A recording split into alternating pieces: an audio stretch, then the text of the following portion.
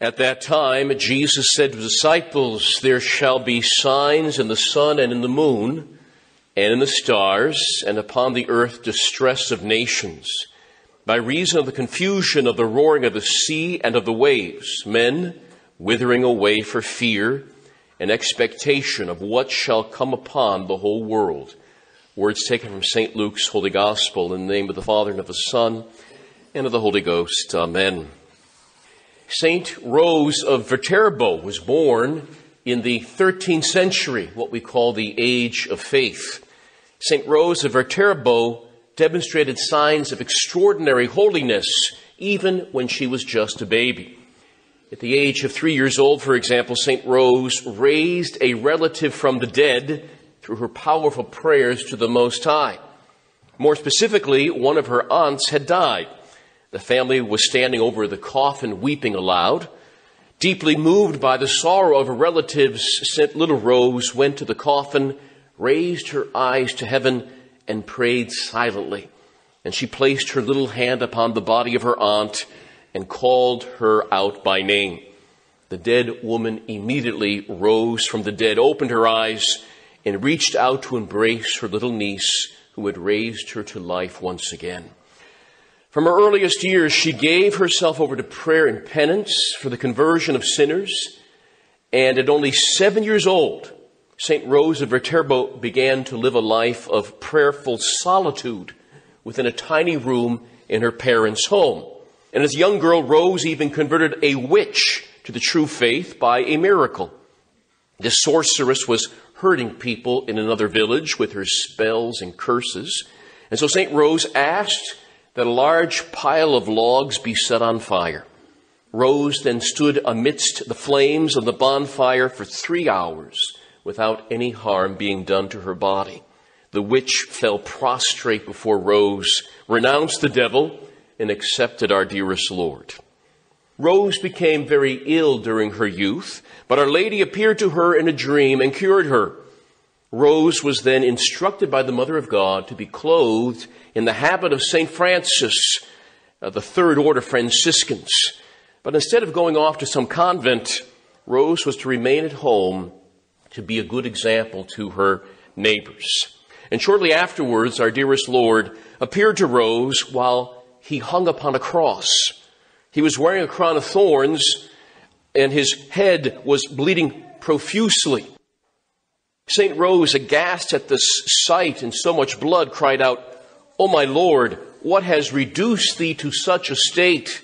Our Lord replied, My love, my deep love for men has done this. But then Rose asked her Savior, Who has so pierced and torn thee? The sins of men have done it, our dearest Lord answered. Sin. Sin, cried the saint, and she began to scourge herself to make atonement for the sins of the world.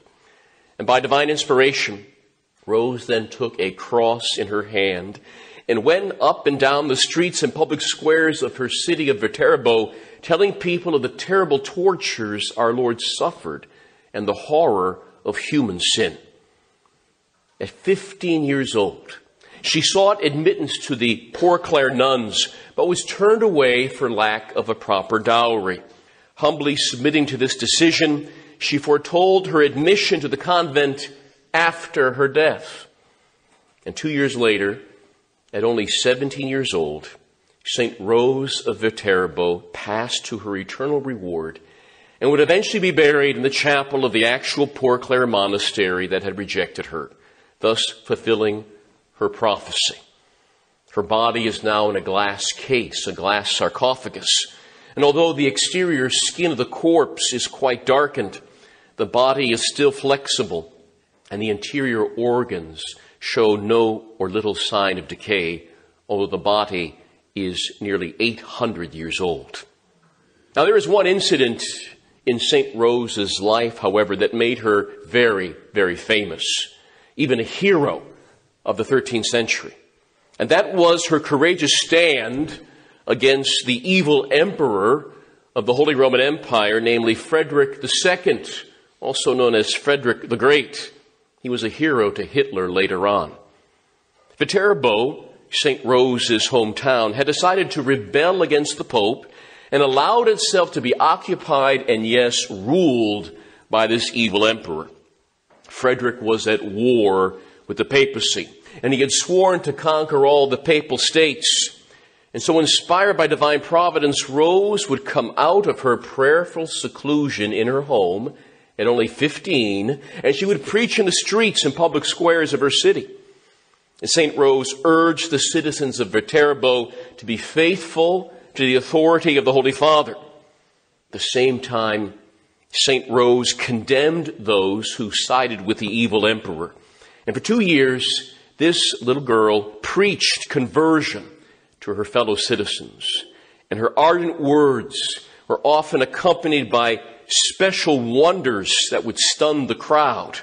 The stone, for example, upon which she stood and preached would rise up off the ground and would sustain her in midair for hours as she spoke. And eventually St. Rose and her family would be exiled from their own hometown because of many enemies they had gained. St. Rose then predicted that Frederick the Great would soon die, and her prophecy came true one week later. Now, in today's Holy Gospel, our dearest Lord speaks about the end of the world. He speaks about the end times and the signs that will accompany the last days. And according to Holy Church, one of the signs that the end is very near will be the rise of an individual that is known as the Antichrist. He will be a man of sin. He will be a lawless individual. He will be a son of loss, a son of perdition. According to Pope Gregory IX of holy memory, Frederick the Great was a preambulus antichristi, or in English, Frederick was a foreshadowing, a prefigurement of the Antichrist that would come. See, Frederick had some of those traits that would be present in the Antichrist. He was extremely intelligent in the worldly sense, enlightened more by the occult than by divine revelation. He was fluent in as many as nine languages in the 13th century, including the language of Arabic. He was said to have a mind of a modern scientist, the heart of a romantic poet, and the iron will of a tyrant. No wonder the liberal elites at that time called him the stupor mundi, the wonder of the world. Frederick the Great had also issued an official proclamation that Christ our Lord and Holy Moses were both impostors, and that he, the emperor, was truly a Messiah like figure. He would attack the papal states, he would disrespect the Pope, and he would imprison many, many priests. Frederick was considered many things at his time an Islamic sympathizer, a heretic, an apostate with the spirit of the Antichrist. He would be excommunicated twice during his evil reign. And while in the Holy Land, Frederick the Great was greatly respected by Muslim leaders, not only for his ability to speak and write fluent Arabic, but also because of his seeming desire to become a Muslim. According to Muslim chronicles, Frederick left a lasting impression of a man who was more inclined to Eastern Muslim things to Latin Western things and sounding like our own president today, Frederick stated, My chief aim in passing the night while I was in Jerusalem was to hear the call to prayer given by the Muslims and their cries of praise to Allah during the night. In reality, however, Frederick seems to have been neither a real Christian nor a Muslim sympathizer or an atheist. He was rather a religious pluralist Every religion is the same. It doesn't really matter. Taking what he liked from religion and philosophy and discarding the rest. A cafeteria Catholic in some ways. He was also a skeptic who doubted even the true faith. His mockery of Christian practices was well known at the time. He had a deep interest in astrology and the occult and alchemy.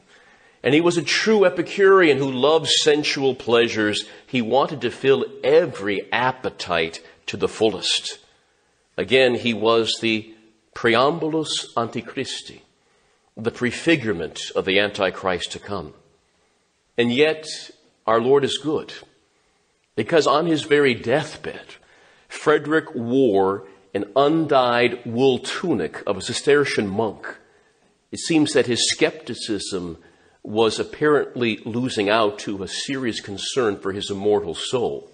For without Christ, one cannot be saved.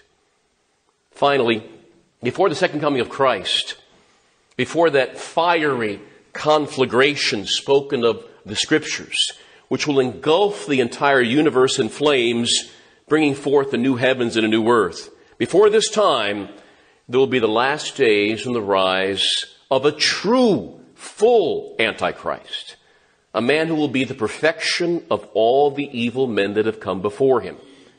Antiochus, the Emperor Nero, the Emperor Caligula, Muhammad, Mao Zedong, Martin Luther, Joseph Smith, Stalin, all of those men who preached a demonic gospel with themselves being a worldly Messiah. St. Cyril of Jerusalem, a father and doctor of Holy Church, adds that, quote, the Antichrist will exceed in malice, perversity, lust, and wickedness, in piety and ruthlessness and barbarity, all men that have ever disgraced human nature. It will be as if Satan himself came to the earth and assumed human flesh.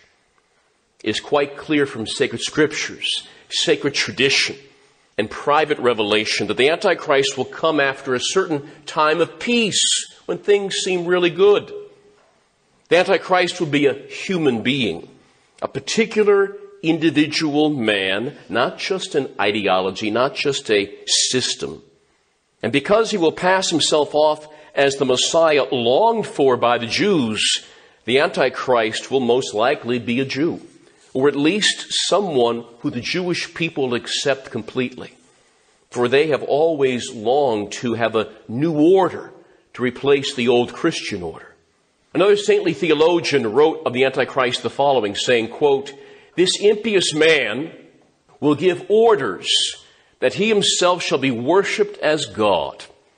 For he will say he is Christ, though he will actually be Christ's enemy. That he may be believed, he will receive the power, important thing here, he will receive the power of doing wonders, so that fire may descend from the heavens, the sun retire from its course, and the image or idol which he sets up may speak. And by such wonders he shall entice many people to worship him and to receive his sign on their hands and foreheads. And he who shall not worship the Antichrist shall receive death and refined tortures. To summarize then, the Antichrist will gain followers by being a powerful impostor, using every false interpretation of Scripture to portray himself as a Savior. He will work magic, not actual miracles. He will demand worship and he will hand out many gifts to his followers, but he will inflict death upon those who resist him even in the slightest way. But there is one final thing I must add. There will be a powerful, albeit small group of people that will resist. In other words, there will be a remnant that will imitate St. Rose of Viterbo. The greatest opposition to the Antichrist, in fact, will come from the preaching of Old Testament saints, namely Enoch, mentioned in the book of Genesis, and the prophet Elijah, mentioned in the book of Kings. Enoch and Elijah, you should look them up. Enoch and Elijah, whom the Holy Bible clearly states never died a bodily death. Enoch was assumed into heaven, Genesis tells us. And of course, Elijah went up in a fiery fiery chariot.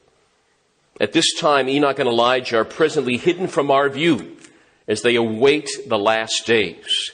And when those last days come, the two holy men will come out of their hiding and they will preach against the Antichrist and many will go away from the Antichrist.